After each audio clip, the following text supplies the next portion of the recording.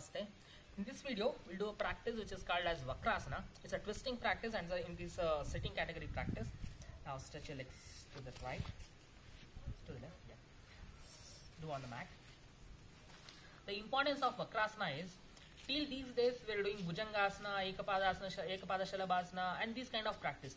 In all those practices, our low back was remaining in a relaxed condition. But in this in this series, in lesson 4, we are doing we are doing Shalabhasana. In Shalabhasana, what happens is automatically when you start raising the legs, your back muscles will start getting tightened. Once you tighten your back muscles, so it is very much necessary to relax that muscle by doing a stretch. Whenever a muscle gets stretched, that muscle will start getting relaxation. We'll do one posture which is called as Vakrasana, which releases a tension from the low back muscles. The practice will goes like this. What's the practice first. Watch all the key points and you should follow all the key points. You should fold your right leg. Make sure that your ankle joint and your knee joint should be in a straight line and your foot should be straight. And then place your right palm straight to your spine. And this palm should remain exactly straight to your spine, straight to the vertebral column. Okay. Now you should raise the left hand up. Now from your left hand, you should cover your right leg and try to hold your foot. Here the main thing you should observe, there should no gap between your side and your thigh. Try to cover the gap and then you should hold the leg. And here one more mistake is, we'll start rolling the hand like this. We'll hold somewhat by folding hand and we'll hold like this. Once you do this, this turn, then we lose a stretch of the bicep, forearm, wrist and all. So what this, what is the alignment is, you should exactly take stretch from bicep, elbow, bicep, forearm and your wrist. You should hold exactly in this way so that the assembly of the hand will get stretched.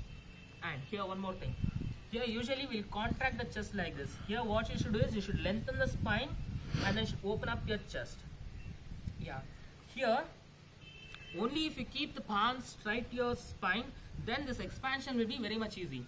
If you keep the palm somewhere here and that will leads to contraction of the chest. So here the main thing is your palm should be placed exactly straight to the vertebral column. You should open up your chest and then you should lengthen your spine, turn your face completely to the right and keep your facial muscles in the relaxed condition.